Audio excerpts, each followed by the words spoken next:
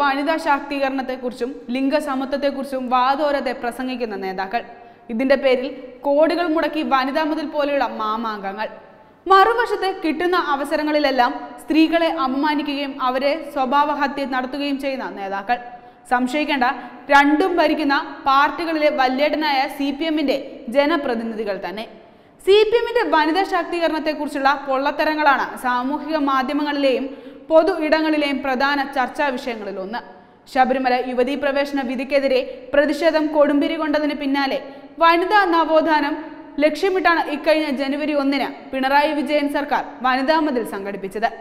സർക്കാരിന്റെ നയ തീരുമാനവും സ്ത്രീ ശാക്തീകരണ പദ്ധതികളുടെ ഭാഗവുമാണ് വനിതാ മതിലെന്ന് ഹൈക്കോടതിയിൽ നൽകിയ സത്യവാങ്മൂലത്തിൽ സർക്കാർ പറയുമ്പോൾ മുഖ്യമന്ത്രി നിയമസഭയിൽ പറഞ്ഞത് മറ്റൊന്നായിരുന്നു. ശബരിമലയിലെ യുവതി പ്രവേശനവുമായി ബന്ധപ്പെട്ട് നവോത്ഥാന മൂല്യങ്ങൾ തകർക്കാൻ ശ്രമിച്ചപ്പോൾ വിളിച്ച സംഘടനകളുടെ യോഗത്തിലാണ് വനിതാ മതിൽ ഉണ്ടാക്കണമെന്ന് തീരുമാനത്തി തീരുമാനിച്ചതെന്നായിരുന്നു ആ ന്യായീകരണം. സംഘടനകളുടെ യോഗത്തിലെ തീരുമാനത്തെ സർക്കാർ പിന്തുണയ്ക്കുകയായിരുന്നുവെന്നാണ് മുഖ്യമന്ത്രി പറഞ്ഞത്.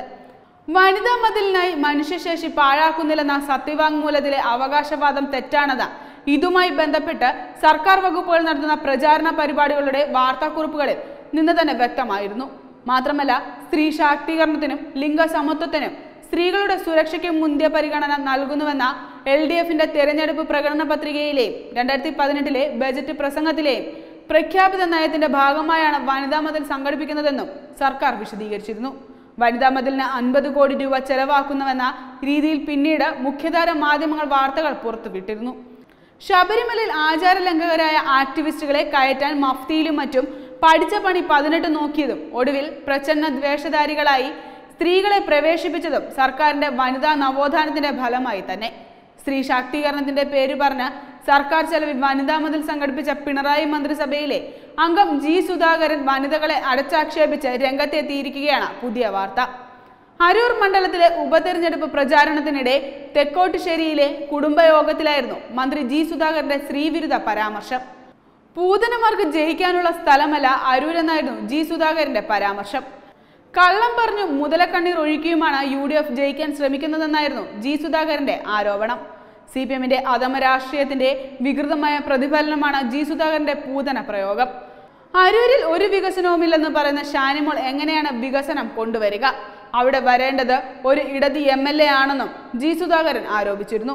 സ്ത്രീവിരുദ്ധ പരാമർശങ്ങൾ സി പി എം നേതാക്കൾക്ക് പുത്തരിയല്ല. ഇതിനു മുൻപും നിരവധി സി പി എം നേതാക്കൾ സ്ത്രീവിരുദ്ധ പരാമർശങ്ങൾ നടത്തിയിട്ടുണ്ട്.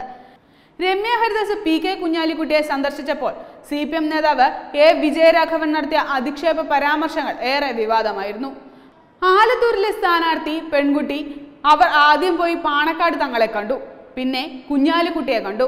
അതോടുകൂടി ആ കുട്ടിയുടെ കാര്യം എന്താകുമെന്ന് എനിക്ക് പറയാൻ വയ്യ. അത് പോയിട്ടുണ്ട് എന്നായിരുന്നു വിജയരാഘവന്റെ വാക്കുകൾ. വി എസ് അച്യുതാനന്ദൻ ലതിക സുഭാഷിനെതിരെയും സിഞ്ചു ജോയിക്കെതിരെയും നടത്തിയ അധിക്ഷേപ പരാമർശവും പരക്കെ എതിർക്കപ്പെട്ടിരുന്നു. എസ് എഫ് ഐ മുൻ സംസ്ഥാന പ്രസിഡന്റായിരുന്ന സിന്ധു ജോയ് പാർട്ടി വിട്ട് കോൺഗ്രസിൽ ചേർന്നതിന് ശേഷമായിരുന്നു വി എസ് അച്യുതാനന്ദന്റെ അഭിസാരിക പ്രയോഗം. ഏപ്രിൽ അഞ്ചിനായിരുന്നു വി എസ് ലതിക സുഭാഷിനെതിരെ പരാമർശം നടത്തിയത്. തിരഞ്ഞെടുപ്പ് പ്രചാരണത്തിനിടെ പാലക്കാട് പ്രസ് ക്ലബിൽ വെച്ച് നടത്തിയ മുഖാമുഖത്തിനിടെ ലതിക സുഭാഷ് പ്രശസ്തയാണെന്നും ഏത് തരത്തിൽ പ്രശസ്തയാണെന്ന് എന്നത് അന്വേഷിച്ചറിയാം എന്നുമായിരുന്നു വി എസ് അച്യുതാനന്ദൻ പറഞ്ഞത്. അതേസമയം സ്ത്രീകളെ മാന്യതയോടെ കാണുന്ന വ്യക്തിയാണ് താനെന്നും മലമ്പുഴയിലെ യു ഡി എഫ് സ്ഥാനാർത്ഥി ലതിക സുഭാഷിനെ കുറിച്ച് നടത്തിയ പരാമർശം ദുരുദ്ദേശമല്ലെന്നും കോട്ടയം ജില്ലാ panchayat president K P C C ഭാരവാഹി എന്നീ നിലകളിലുള്ള അവരുടെ പ്രശസ്തിയാണ് താൻ ഉദ്ദേശിച്ചതെന്നും വി എസ് പിന്നീട് വ്യക്തമാക്കിയിരുന്നു. സ്ത്രീകൾക്കെതിരെ അപമര്യാദയായി പെരുമാറിയെന്ന ആരോപണത്തിൽ നിരവധി സി പി എം നേതാക്കളാണ് കുടുങ്ങിയത്. സി പി എം കണ്ണൂർ ജില്ലാ മുൻ സെക്രട്ടറി പി ശശി എറണാകുളം മുൻ ജില്ലാ secretary Gopi Kottamurikkal Shoranur M M L A P K Sasi എന്നിവർ ഇവരിൽ ചിലർ മാത്രം. പി കെ ശ്രീമതിയും എ കെ ബാലനും ഉൾപ്പെട്ട പാർട്ടി അന്വേഷണ കമ്മീഷനെ വെച്ച് ഇവരെയെല്ലാം പാർട്ടി പിന്നീട് രക്ഷിച്ചെടുത്തതെന്നത് പൊതുജനങ്ങൾക്ക് എല്ലാം അറിയുന്ന ചരിത്രം മാത്രം. സ്ത്രീ ശാക്തീകരണവും വനിതാ നവോത്ഥാനവും ഒക്കെ ലക്ഷ്യമിട്ട് മുന്നേറുമ്പോഴും അത് പാർട്ടി ഉദ്ദേശിക്കുന്ന രീതിയിലല്ലാതാകുന്നുവെന്നതാണ് പരമസത്യം. നാഴികയ്ക്ക് നാൽപ്പത് വട്ടം സ്ത്രീ ശാക്തീകരണം എന്ന് പറഞ്ഞ് നടക്കുന്ന ഈ പാർട്ടിയുടെ സ്ത്രീ ശാക്തീകരണ നയത്തിലെ പൊള്ളത്തരം കേരളീയ സമൂഹം തിരിച്ചറിഞ്ഞു കഴിഞ്ഞു. വെബ് ഡെസ്ക് തത്തുമൈ ന്യൂസ്.